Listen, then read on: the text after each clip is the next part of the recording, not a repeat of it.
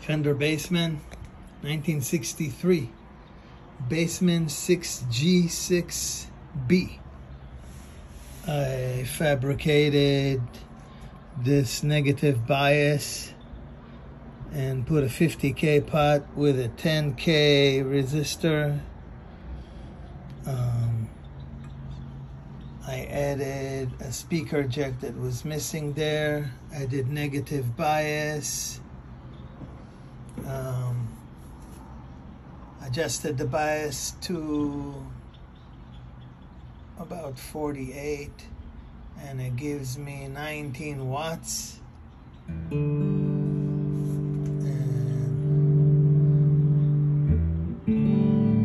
that's three on the bass channel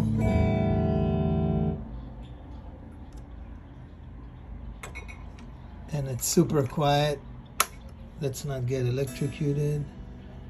Uh, let's see here. Second channel.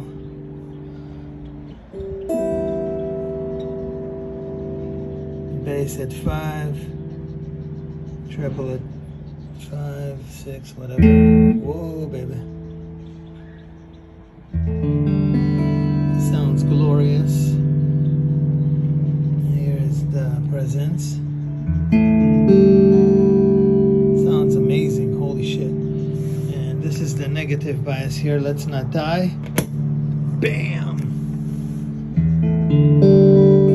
Way louder. Um, and tube's looking good. Yay. So oh and by the way I did uh, change the filter caps to F&T um, 22 at 500 and uh, the old filter caps are inside so yeah.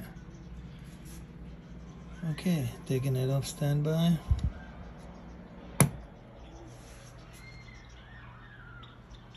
Oh and I put a brand new um, Tung-Sol 6L6GC so it could take 58, 81, or 6L6 GC because I did that negative, uh, because I did that, uh, uh, added that bias pot.